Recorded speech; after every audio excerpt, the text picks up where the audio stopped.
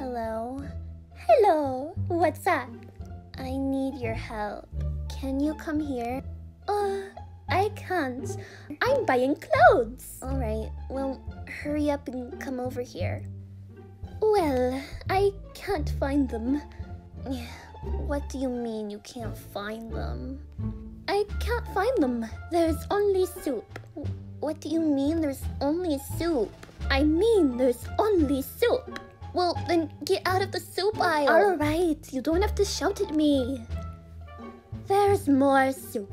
What do you mean there's more soup? There's just more soup.